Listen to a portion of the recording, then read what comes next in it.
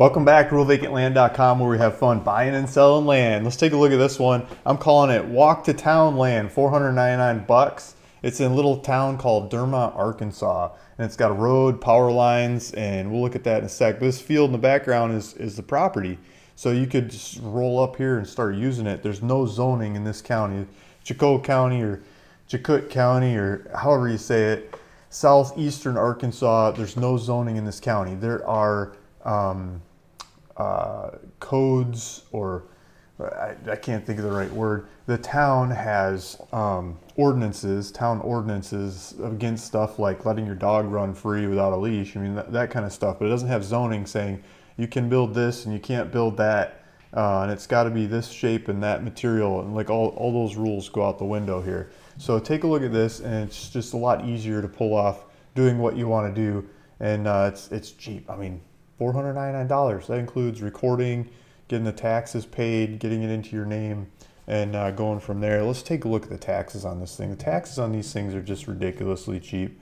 So this one's $16 a year. Their last tax was $16, $16.28 if you want to be exact. But uh, get the idea on taxes. Okay, so I got some pictures, we got some diagrams. You can see all these pictures and diagrams and things by going to the website. There's a link in the description below to take you back to the website. I'll make sure to get that in there. And um, you can go look and study all these pictures and diagrams and stuff of the website. And then there's a map, my favorite part, what I like to play with the most, like a touchy-feely, go zoom in and out and stuff. It's uh, a lot better map than like Zillow and other websites in my opinion, but feel free to prove me wrong. Throw your comments and theories in the in the comment section or tell me how I can make it better. I'm always open for that. So let's take the Google, yeah, good. The Google guy is, is working here. And so we can zoom in, we can take a look at the land. These were the background pictures. This is North Cross Street. I mean, look at that. The kids could ride bikes up and down the street. There's no cars. No, watch, there's a car over here. yeah, there's no cars. Uh, you know, you could like rollerblade. You could play hockey in the street. I mean, you could play basketball. You could do all kinds of stuff in this street. Cause there's nobody around. Just nobody nobody there and then you got a field. So you could build in this field this would be your land and uh, got GPS coordinates of the thing so you can mark it out you can walk around it you know looking at the GPS coordinates on your phone there's a lot of different apps you can do to go walk around and see where this property is exactly or pretty darn close to exact I'm not I'm not a surveyor but like maybe that far off from exact.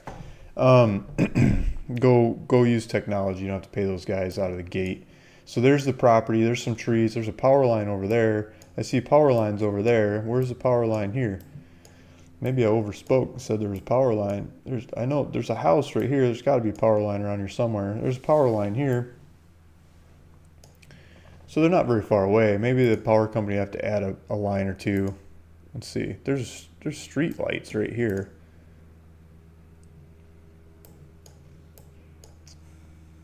Um, I don't see a transformer. Looks like the vines are going crazy here. Yeah, you gotta call the power company have them figured out. Maybe that's a transformer. Maybe they could stretch from there over to the property. Maybe they gotta add another pole and a transformer. It looks like there's trash service coming through the neighborhood. I doubt you have to drag the can all the way down to this street. You might just have to make the, the trash truck drive a little further. Look, these guys got a basketball court in the driveway buried uh, something line here too. That might be a natural gas line. I think there's natural gas line or maybe a telephone line there too. I don't see propane tanks, so maybe there's natural gas in this part of town. Um, okay, so there's a look at it. You can look at this on on the website. You can play with this map. You can drive up and down the streets and all around the town and everything, and go look at it and see if you like it or hate it or what. Um, I got a buy it now button. I just got that set up on this one a minute ago. So it's 499 bucks. You put your title information in there, what name you want to own the property, and your tax address, your contact information, that kind of stuff.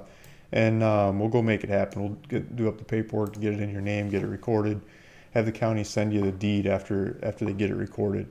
Um, yeah, there's GPS coordinates, and so if you click on the GPS coordinates over here, it'll it'll take you to the property. You can go take a tour of the property, click on it, and it'll give you driving directions straight to the property and go look at it in person instead of on on Street View. So I pulled this up. This is uh, like the properties over here, and I, I I like to show you where Walmart is because not not that Walmart's the only place you go, but there's usually other auxiliary services around Walmart where you can get supplies and other grocery stores and other things that try to compete with them or sell on top of it too. Because Walmart does a lot of statistics and information on where the market is that they can go sell stuff. So other stores say, ah, Walmart did the information, we'll just jump on the back of them and follow them around, right? So um, I looked up Walmart. There's a Walmart here in town, but that is not right. That is just like a, a little store calling themselves Walmart. That's not the real Walmart. Real Walmart's up the street a little bit further. But you could walk over here. I mean, it's just like a mile to town, and then there's all kinds of stuff in town here. There's town square, and um, different uh, the, like the lumber store and the bank, a couple banks, couple yeah, a couple different banks and churches, and um, grain processing and that kind of stuff. And this elementary school, Family Dollar, and so the real Walmart's just up in the next town in McGehee so it's the southern end of, of McGehee, and the town is eight miles away. It's 15 minutes to go to that one if you want to go up to that uh, that that that Walmart. But I mean, you could do Family Dollar and stuff right here in town. You can just walk to it. So you can walk to a lot of the town right there. So I think that makes these properties a lot more usable, user friendly to be able to walk to stuff. I love I love walking to restaurants and the bank and the post office kinds of things. I love that aspect of where I live. And um, I think a lot of people don't realize how nice that is to be able to have a, a walkable services in the area. Um, I'm always promoting properties out in the middle of nowhere, but uh, it's going to be really convenient to be able to walk the stuff. You don't have to get in the car all the time. So come take a look at this property on ruralvacantland.com. Got directions on here to gas station, um, hamburgers shop, and you know just the local local some of the local services. And thank you. Thanks for listening. Thanks for watching. This is Luke Smith, ruralvacantland.com. If you want to see more videos like this, hit subscribe and I'll keep them coming. Thank you. Bye.